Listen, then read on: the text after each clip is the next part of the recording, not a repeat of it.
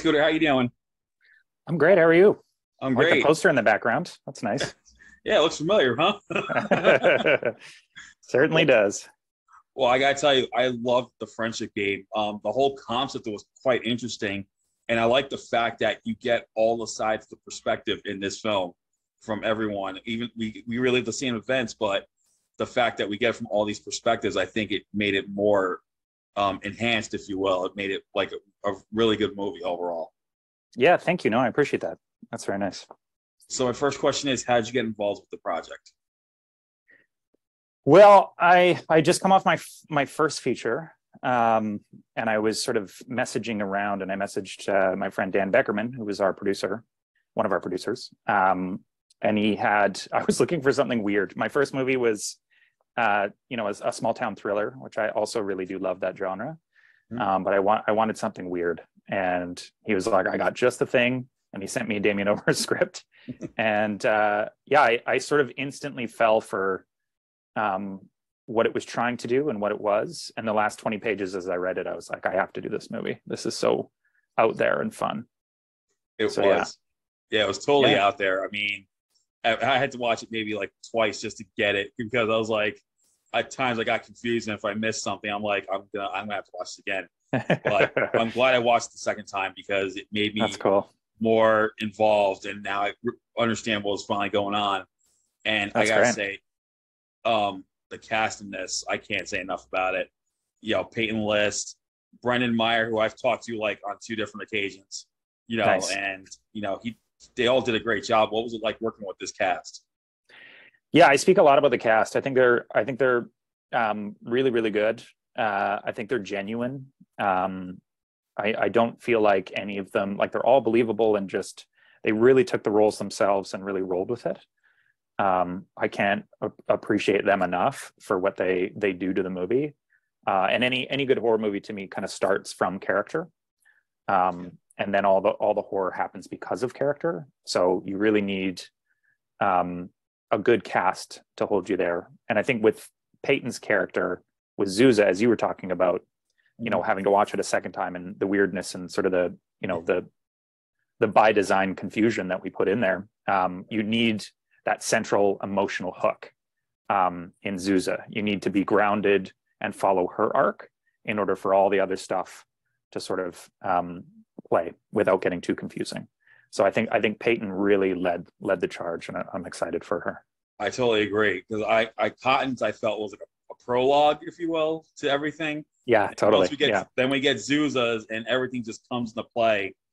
And I really like the, the chemistry between all of them, especially between Brendan and Peyton, because, you know, once Brendan's character find out, realizes what is going on, he's Mhm. trying to warn her. And she's at first warding him off because she thinks he has, you know, it looks like she has this big crush on her and everything. But I felt like their chemistry was important because it's like he knew, he knew what the game was about and it's like he was the smart one of the bunch and you know kudos to him for that role yeah. Bre- Brendan's great. I actually had breakfast with him this morning. Um, he's just leaving town, but uh, you know, I've been a fan of his since the OA, and then I saw him in Color Out of Space. And and when we got an audition tape from him for this, I was like, we need to get him on board. like, I'm Oh, a big fan of his. So yeah, yeah i became a fan of his after i saw all the small things then color out of space and Yeah. then i talked to him on both occasions and i told him like we're going to talk a third time it's going to be a matter of time we're going to go for a three first. And i'm feeling it's going to be for this movie yeah. I think he's doing the rounds now. You should try and reach out. yeah so i can't yeah so i am looking forward to talking with him again about it so what was um how long did shooting take and what challenges did you face during production? Yeah i mean shooting was fast. Um it's it's a movie every movie the the i think the sphere at which indie movies are produced now is is a really tough um, place to work. Um and the more money you have the more time you can afford. So i think we didn't have that much money. So i think we were up against time always. And i think with almost any movie that's always going to be your challenge but for us it was you know it was a very fast production and we ended up doing um, some reshoots and some pickup shots as well. Um, and those had to be super fast. So I think, yeah, time is always going to be the enemy on a film set. and uh, and it definitely was. But we had such a good crew and such a good cast. You know, one of the biggest um, learning lessons was when you are in trouble, timing wise, and you have a good cast.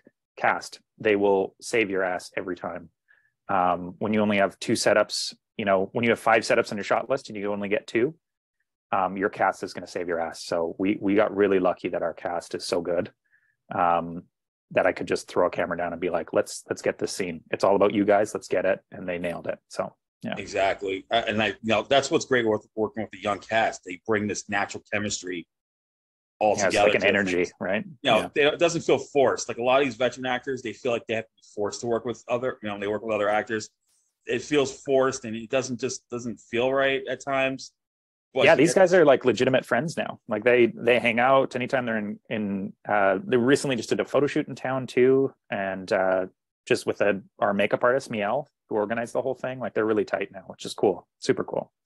Yeah, I think it's the second time I heard that. Where where young cast. Oh, did you? Like, yeah, yeah, like uh, young young cast like got together for the first time ever, and now they they're like the best of friends. Yeah, so this is like the second occasion I've heard this. It's, I think it's I think it's great that that comes out of it. You know, it's not like not just a working relationship, but now it goes to Mhm. a personal relationship. And I think I think you can see it in the film too, right? You can you can definitely you see can that. Tell. You Yeah. can tell, and and, and I gotta say, who knows?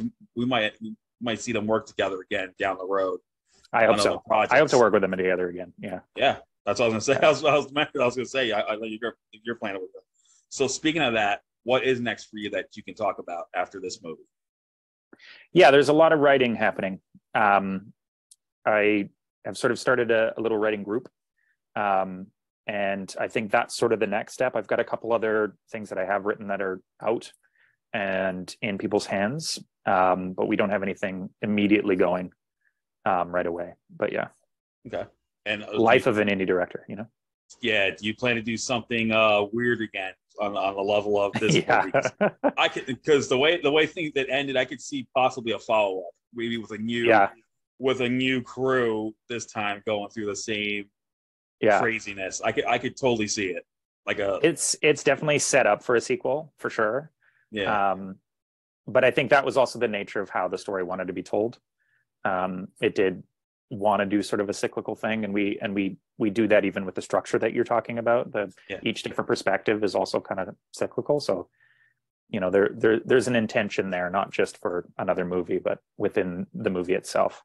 do I hope to do something weird. Yeah, Yeah, I, I, I if I if I ever saw a sequel list, I would love to see one of these people come back to warn this new crew about what's going to happen, and you know, I, I would be quite fascinating. Kind of like the way Final Destination was set up with the second one, where, yeah, where yeah. one character from the original warning the others what's going to happen. I, I could see it with this if, they if there was ever a sequel to this.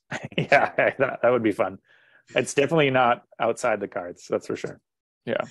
So the friendship game is coming out November 11th. Those who want to see something kind of weird, but in a way really fascinating in terms of its um, structure, especially with the story and, and a, a phenomenal cast, um, will want to see this movie. And Scooter, man, thank you so much for you know bringing this to everyone. And I hope the film does get a hit. And like I said, I hope maybe who knows could be a follow up to this. And if there is, I'm looking forward to it for sure. Yeah, I appreciate that. I appreciate you chatting today too. Thank you. And thanks for watching it. That's awesome. All right. Well, for watching it care. twice. That's great. Yeah, exactly. Twice. Yeah, you might have to watch twice to get it, but you'll you'll everyone will get it. But um, thank you again so much. Thank you so much. Thank you. Appreciate it. Okay, take care. Bye. Bye bye.